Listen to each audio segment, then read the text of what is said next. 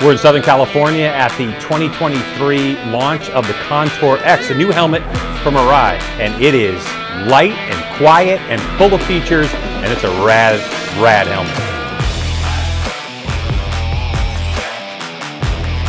So the day's been really cool. We started at Bike Shed and had a great breakfast, got the product launch, so we got to find out all the details about Arai's innovation for the new helmet and how much protection they put into it, plus all the extra benefits and features that it comes with, including a lighter helmet that also protects you as well as all their other helmets. For me, riding on the street, something kind of new for me. I've been racing professionally now for 18 years, been riding motorcycles for probably 27 years. So uh, street riding something that's taken over in the last seven years for me and uh, never really had to think about how comfortable a helmet is because for us on the track, I make it as tight as I possibly can. So I've rode in some really uncomfortable race helmets and some uncomfortable street helmets and not just with the Contour X, but with all the Arai helmets, I've never really had a problem being comfortable on the road. So that for me is, is the best thing. Even with the Cardo headset in, you know, taking up extra space in the helmet, it still is really comfortable for me. So, so we're at the Gasolina Cafe, our lunch stop for the press introduction just north of Los Angeles for the new Contour X.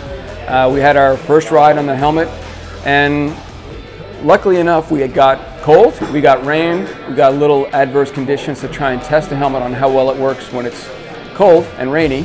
Uh, that was good, and then the sun's coming out, so we should have a chance to see how it works in the kind of middle temperature range, and then hopefully it'll get warmer this afternoon. We can open up the vents and see how it works. Immediately when we got on the highway, you could tell it was kind of blustery, and of course you're passing in vehicles, big vehicles like big tractor trailers.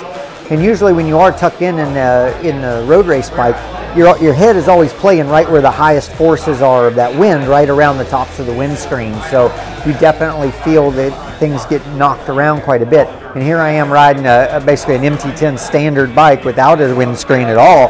And yeah, I thought it was incredibly stable. It was one of the first things that stood out to me about the helmet even though it's been a rainy day in Los Angeles, I think that that's been a plus because it just goes to show how good this helmet is.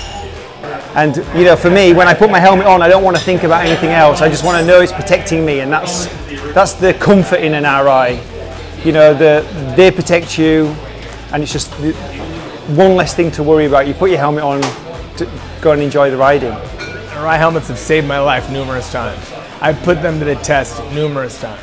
Just uh, if you haven't tried an Arai helmet, if you don't want to buy an Arai helmet, don't try an Arai helmet because if you try it, you're going to love it. You're going to wind up buying it.